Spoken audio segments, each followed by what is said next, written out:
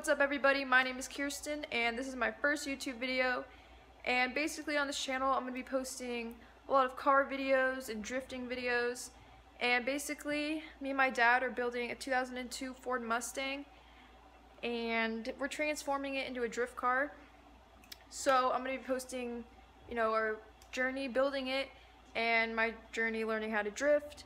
So that's pretty much it. And today's project we're going to be taking out the K member out of the car and then we're going to be installing a new one in a later video. So yeah, let's get to it. This is our 2002 Ford Mustang. Um, we got it for 300 bucks and it came with a V6 that was blown. And this is the only damage really on the car. So overall it's pretty good. So far underneath the hood we've stripped out pretty much everything. And we're to be installing this 400 horsepower 289 engine stripped the interior so far.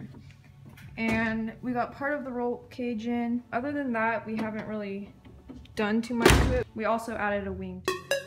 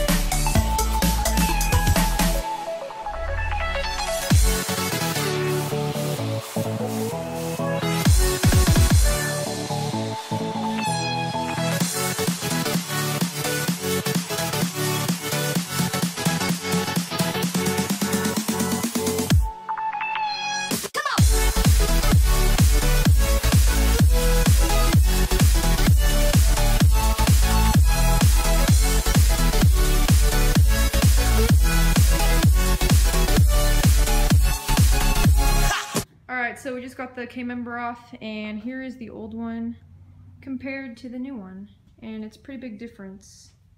So that's all the work we're going to be doing today. I'm going to be posting another video of us putting in the new K-member so stay tuned for that. And please give this video a like and subscribe to my channel and I will see you guys later.